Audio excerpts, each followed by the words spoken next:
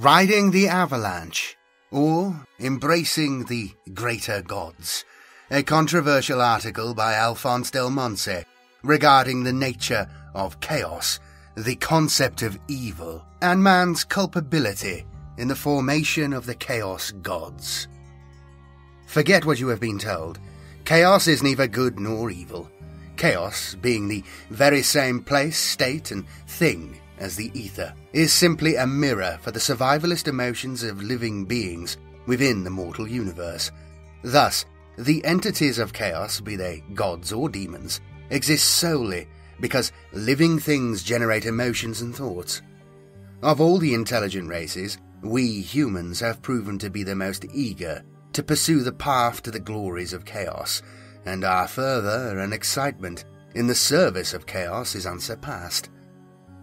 This fervour grants greater power to the gods of chaos, and in return they grant us their many blandishments and blessings. We humans lust for change and seek delight, and it is largely because of us, not the elder races, and our wonderful drive and ambition that the gods of chaos have grown so magnificent and bloated with power. Always remember, the chaos gods cannot and should not be called evil. They are simply exuberant personifications of all those things that make us human. For you see, the relationship between chaos and the mortal realms is entirely symbiotic, much more so than any cleric or priest of this dull empire would ever wish to admit.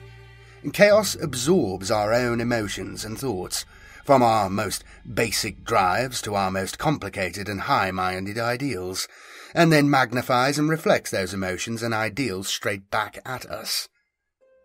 But what bearing, you no doubt wish to know, does this have on the greater gods of chaos? To put it in layman's terms, over time, and for whatever reason, all emotions and their related concepts converge together within the chaos realm. It is a case of like attracting like, with every scrap of anger or every scrap of ecstasy, slowly being drawn to one another until they create what could be described as a kind of vortex of psychical energy within the chaos realm. A vortex of emotion and thought.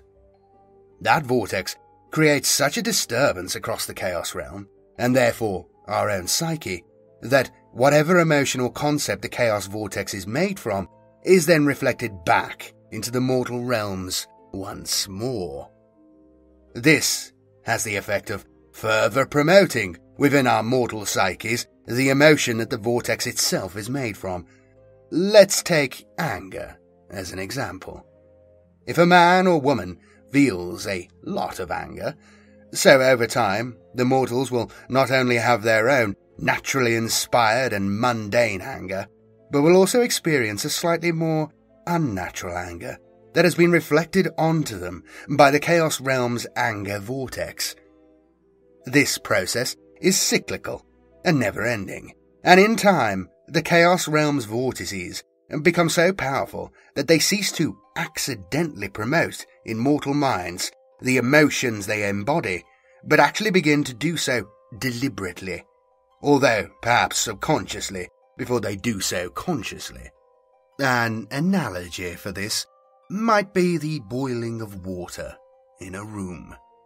If one boils a big pan of water in a room with no ventilation, quite soon one will find that all the windows in the room become covered with a fine sheen of water. The temperature in the room will get warm and humid, and things will get wet. This is not the water that has evaporated from the pan consciously coming back to haunt us. It is just the natural consequence of boiling water in an airless room with glass windows. One might say that mortals are similar to bowls of boiling water, and that our emotions are like steam pouring from that bowl. This water vapor is trapped within the airless room that comprises of both our individual minds and the realm of chaos. This psychical condensation could be seen as the very beginnings of the Chaos Realm's vortices of emotion, senselessly reflecting back upon the airless room of our minds, the water vapor emotion that we first generated, making us even hotter, as it were, and thereby causing us to give off more of the same emotion that started the process in the first place. In time, all this psychic condensation creates the perfect environment for consciousness and intelligence to grow within the realm of chaos. Before the vortices become intelligent and self-aware, they first attain basic drives and needs, similar in their own way to the drives and needs of such mortal forms of life as plants. So now we have little shoots of consciousness growing upon the warm damp of the psychic condensation where our minds meet the chaos realm. Like a plant that leans towards the sun as it travels across the sky. Not a conscious action, and yet still an action of a living thing. These shoots of intelligence within the chaos realm's vortices begin to lean towards these people and emotions that best nourish them. So, the vortex of anger might lean more towards those people who get angry most easily. The vortex of ecstasy and pleasure might lean more towards hedonists or those with heightened or more acute senses. The vortex for hope leans more towards those optimistic or ambitious people, and the Chaos Realm's vortices of fear and misery might lean more towards those people who tend towards a more nervous or depressive disposition.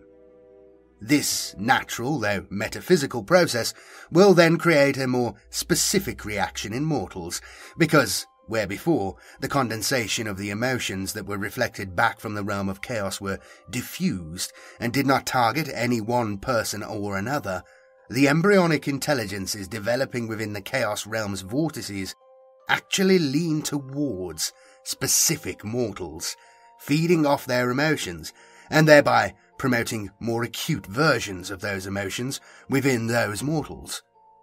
So, whereas the general miasma of anger that is reflected back from the Chaos Realm's anger vortex may affect all mortals to some small degree, the burgeoning intelligence of the steadily growing anger vortex will deliberately begin to lean towards those people who are particularly angry, and to a certain degree ignore those who are not.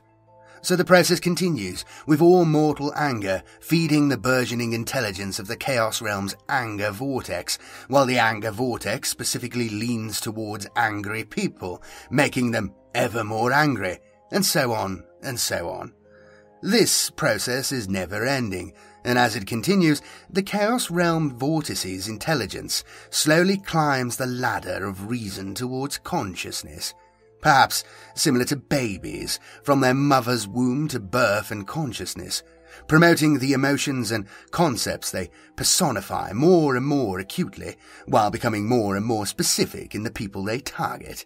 Eventually, the day comes when they reach a level of intelligence whereby they realize, I am, and become fully self-aware. There is little or nothing that mortals can do to stop this process because, like a ball of snow rolling down a wintry slope, by the time mortals realize that there is an entity outside themselves encouraging them to do things, that entity has already achieved intelligence and is too powerful to stop or uncreate. A mortal could, I suppose, seek to stand in the way and try to stop the Chaos Realm's entities from growing any larger, as indeed so many fools often try to do by resisting the great liberators of the North. But to continue with the snowball allegory, the entities have already grown to the size of avalanches, and will more than likely crush anyone and anything attempting to block their path. In fact, because all mortals help start these avalanches, and are indeed part of them, inasmuch as we are all helping to provide the energy and momentum for their growth and descent, we couldn't really stand in their way in the first place. For indeed, every one of us is in fact sledging along behind the crest of these avalanches, most of us without ever even realizing that we are. Those of us that do realize it, like myself, have moved forward to ride the crest of the avalanche and are making the most of the free ride, leaving those more fearful and ignorant to wait until they have been sucked under by the avalanche before they acknowledge their part in its existence, and, much more importantly, their dependence upon it. So, I say now, you who have chosen to question the received wisdom of others, more ignorant than yourselves, to truly emancipate yourselves, you must accept that it is impossible to know where your self control ends and the control of the gods begins. And similarly, where your own emotions and ideas end and the projected emotions and ideas of the chaos gods begin.